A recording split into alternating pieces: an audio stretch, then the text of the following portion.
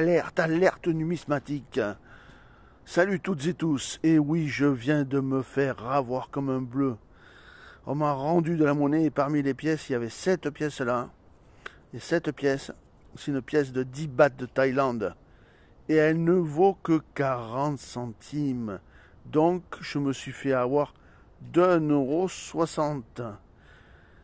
Alors, faites très très attention car en ce moment, je ne suis pas le seul à me faire avoir.